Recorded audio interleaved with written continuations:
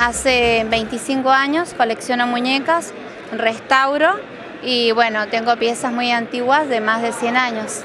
Entonces estaba como guardadito en casa hasta que salió a la luz y bueno, y lo pudieron reconocer y, y bueno, internacionalmente, ¿no? Como es esta, esta mención especial. Que valoren y que reconozcan lo que vos haces con tanto amor y con tanto cariño durante tanto tiempo eh, es importantísimo. Así que mucha felicidad. Yo vengo desde Buenos Aires, desde el Gran Buenos Aires, desde la ciudad de Munro, eh, por mi trabajo que hago como productor de radio eh, y como difusor de música y toda lo que es la cuestión social y cultural eh, a nivel nacional e internacional porque hemos recibido un premio en Venezuela y me han distinguido como mejor director de radio en Latinoamérica y la verdad que muy contento, feliz de pisar Mendoza, de estar en San Rafael, eh, porque sinceramente no digamos, yo siempre digo que el director de la radio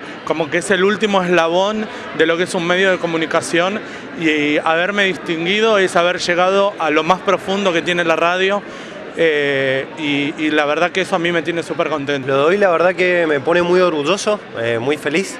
Es una distinción. Hace poquito tuve la, suerte y la oportunidad de representar a Mendoza y Argentina en el Latinoamericano de Oro con mi música.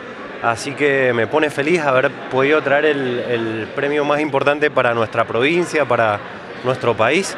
Y es re lindo porque son señales de que cuando hacemos lo que amamos con el corazón, eh, pasan estas cosas lindas.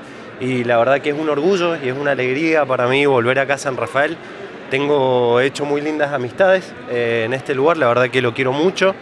y hoy más que nada es una fecha muy especial porque es muy reciente de nuestra llegada acá a Argentina y bueno, con los premios que hemos traído, eh, la verdad que se merece esto, se merece esto nuestra cultura, se merece esto nuestra provincia y se merece esto nuestro país. Así que feliz y agradecido.